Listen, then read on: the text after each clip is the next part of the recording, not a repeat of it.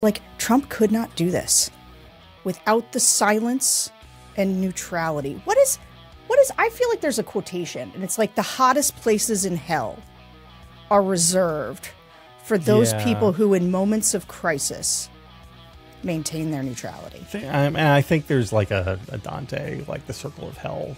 There's I'm gonna Don- look this up because I got to tweet it because that's how I feel right now. You're composing tweets while we're taping. Hello, everyone. It's JVL here with my best friend, Sarah Longwell of The Bulwark. So, I am writing today a big rah rah, it's the girls versus the boys thing.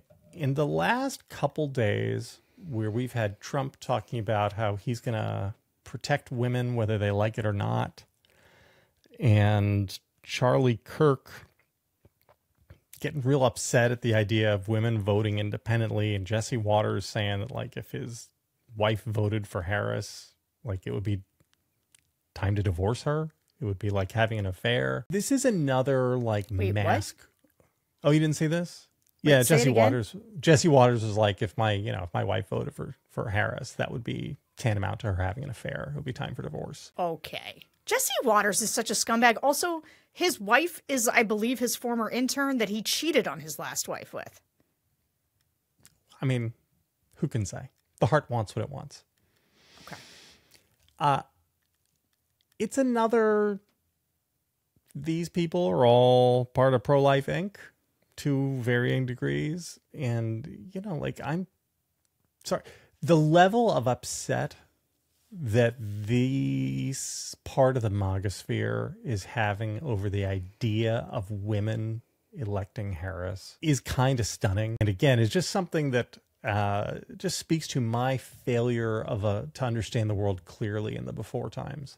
Because I didn't understand that this strain existed in conservatism, and it act, absolutely did. But I didn't see it in my circles, and so I thought it didn't exist. And uh, there is a whole big now maybe it's gotten bigger over the last eight years than it used to be but it was i'm sure it was always there but there's a huge part of this that is just like we have to control women sorry you're supposed to say something here but Yeah, you're like sorry. yeah obviously you're like welcome to the world jvl no, no, I no, I too. I mean, I- would say the big revelation for me was on not revelation. Like the thing is, is like we know you you know something's there, right? You you like it's like you know, um, if you're like a Democrat, you know, there's like a real strain of anti-Semitism, uh, you know, among uh some of these young people, uh, or or just in general. Um, but like you don't know you know that it, like it exists. Like you know it, things exist in pockets. Like i knew that there was racism uh you know that there's sexism. Like you know that those things exist. The question is is like at what point do they become dominant strains? Like at what point do you realize that they are not just something that lives in the shadows of your coalition? Um and i think that democrats had to like grapple with this a little bit. Uh but it is like on the right the extent to which you are, we were surrounded by people who were driven actually by racism nationalism um sexism. How much of the anti-abortion movement is around controlling women's bodies um that that is like an animating now I've also always been like, well, regardless of what animates certain groups of people, there's still the question of like, is something right or wrong? Right? Like, what is our what our immigration policy is? Like, we should evaluate clearly, uh, and like, even if some of the people who are pro, let's just say like uh, closed border, not closed borders, but like stricter border control, some of them are animated by racism. Like, that doesn't mean that we shouldn't have stricter border control, right? We still should uh, in my opinion. Uh, that being said, like the extent to which people on the right are animated by racism, xenophobia, sexism, uh, misogyny, um, really has, I think, and and also like didn't mean any of the other stuff, like that it's all a posture. I mean, this is one of the things that was just revelatory for me.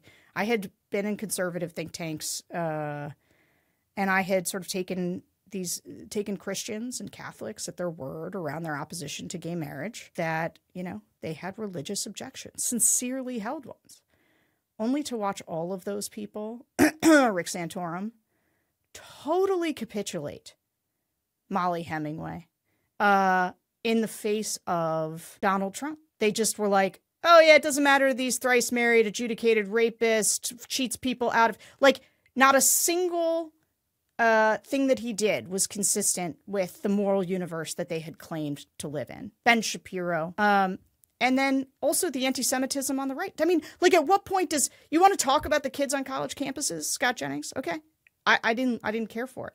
Uh, you know what else?